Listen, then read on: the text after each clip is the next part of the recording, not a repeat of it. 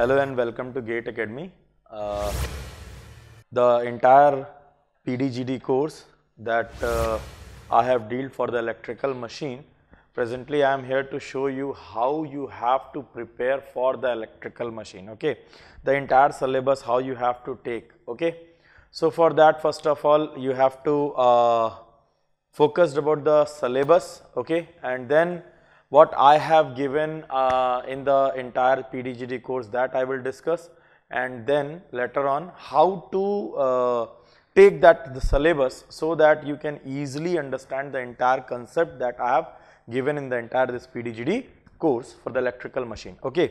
Now see for the transformers electrical machine syllabus for the transformers in a single phase you have to focus on the electrical equivalent circuit models, phasor diagram, open circuit and short circuit test, regulations and efficiency. These two are very important topic and you have to keep this in mind. Regulation and efficiency are very important for gate. This is also very important for gate especially V by F uh, constant and V by F not constant. So, you have to focus on these two topics. These are very important for gate. Okay. Now, overall each and everything is important, but for the gate specifically if I say these two topics are more important as per the previous uh, model of asking the question in the gate exam. Okay. Now, next is your three phase transformer. The entire three phase transformer also have regulation, efficiency, electrical equivalent circuit model, each and everything already covered in this as it is given connections. Okay. So, you have to go with each and every connection like a star delta connection, uh, star star connection, star star 6, delta star 1 and so on. Okay, then parallel operation, parallel operation of both, parallel operation of both means for the single phase as well as for the three phase, both you have to focus about the parallel operation. Both are exactly same for the numericals because uh, three phase transformers are treated uh, are calculated on a single phase basis as all three phases are identical. Okay. Next is your auto transformer. That is very also that is also very important for the gate point of view. Is it okay? Apart from this i have tried to cover each and everything. Uh, i think more than 60 hours i have given to this transformer. Okay. And lots of numericals already in your workbook, you have to go with each and every numerical in the sequence as I have uh, uh, deliberated in the lectures. Is it okay? Now, how you have to study? Because uh, we are not uh, interacting physically, this is a digital medium by which we are going to interact. So, first of all you have to uh, make notes properly whatever I am saying, whatever uh, derivations uh, are uh, going to be delivered on this board, each and everything you have to make it, uh, you have to treat the video lectures like you are in the classroom and you have to make the notes properly. Most of the time for the important points I have suggested take the note, okay. So, for that type of notes apart from your running notes, you have to go with the short notes also.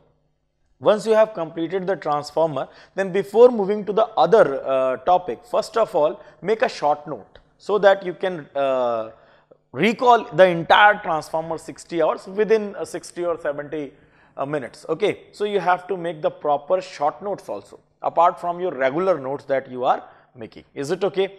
Then uh, after solving all the numericals as I have suggested you uh, in the workbook as question number 1, question number 2, then uh, self practice questions are given.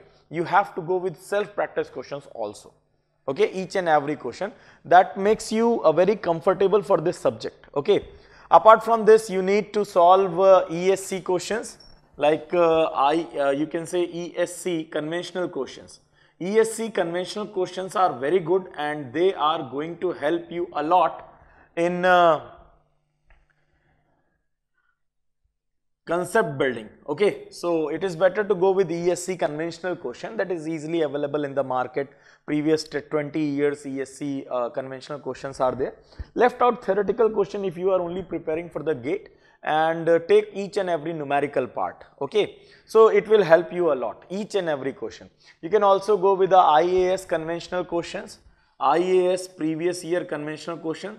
That is also going to help you to build up your uh, concept. Uh, if you are, if you have to give the exam in the coming year, then you have a one year, I think. It is very uh, comfortable to go with all the numericals of all the subjects and it will help you a lot to build up the concept, okay. Now, next part is the machine that I have taken machine, uh, DC machine. In the DC machine for the gate purpose, this is the three motors are specifically uh, mentioned in the syllabus as separately excited series and shunt. Even uh, till now, all the questions asked in the gate mostly are from the separately excited series and shunt, okay. But that is very important to understand the operation by understanding the armature reaction and that is also very important. Armature reaction and effects. Also we have to understand how we can avoid the effect of armature reaction. So I have covered this in very detail.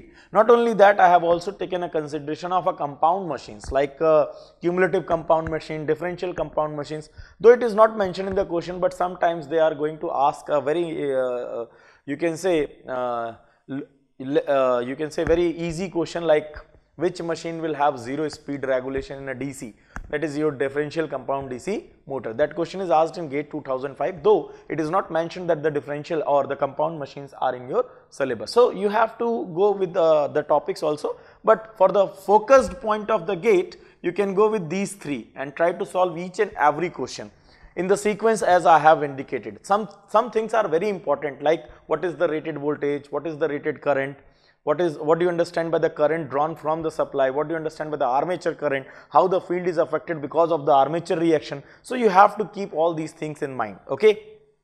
While performing this uh, dc machine when you are going to prepare for a dc machine you have to keep in mind that each and everything whatever i have delivered in the video lecture you have try to make a proper notes and that proper notes will help you a lot before and during uh, before the exam okay? So in order to understand the each and every concept very thoroughly okay? So go very slow because uh, in the video we are not interacting physically so i don't know what uh, is your expectation and how you are uh, catching my uh, information because i can't see your reaction.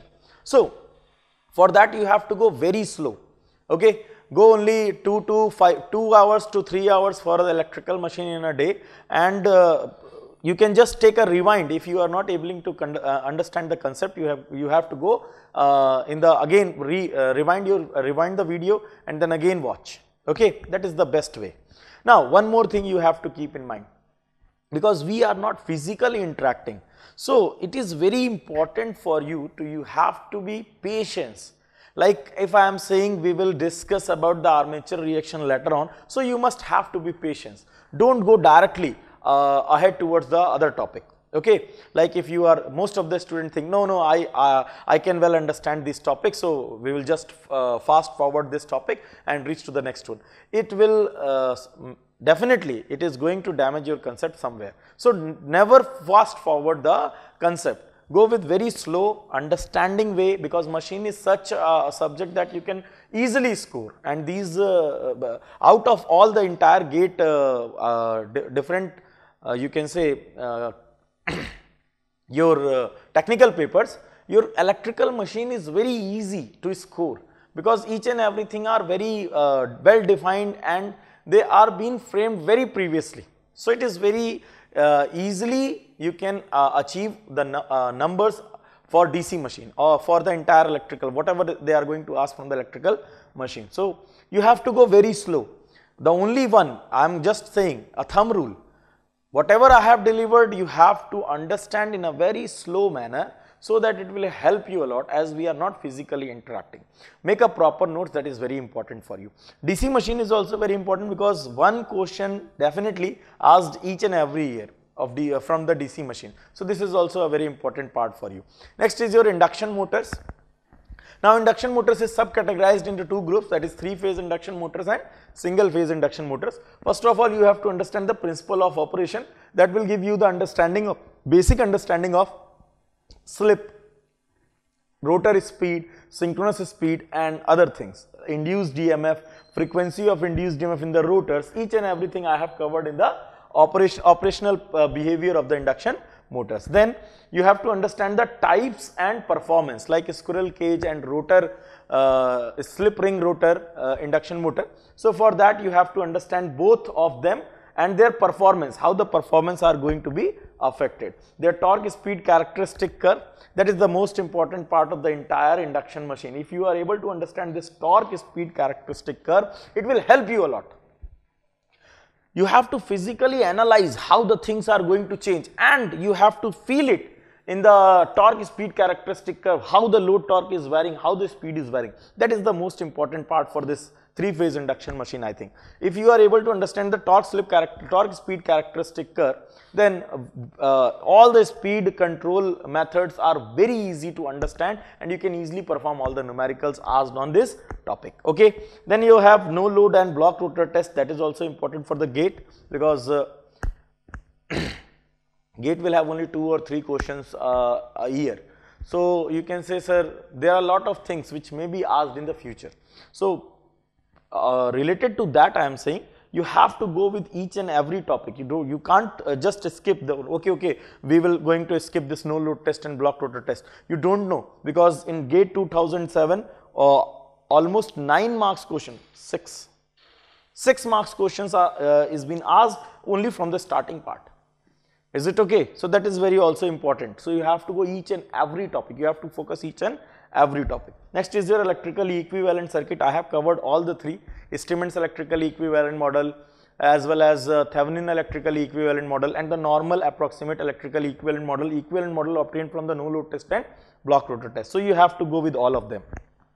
Then starting is also very important for the gate that starting covers star delta starter, auto transformer starter, uh, your direct online starter and impedance starter. Each and everything, which one is suitable, why we are using that one. So, each and every topic is very important for you. And the most important topic for the induction machine is your speed control because whenever we are studying something then the major purpose of this study is to uh, uh, to uh, identify what happens if we are going to change the parameter like how the speed is going to change when we are going to change the terminal voltage, how the speed is going to change with the help of V by F control. So, all are covered. Nowadays inductions are very important like VVFD, voltage, variable voltage, variable frequency drives. So, all are covered in this speed control. Is it okay?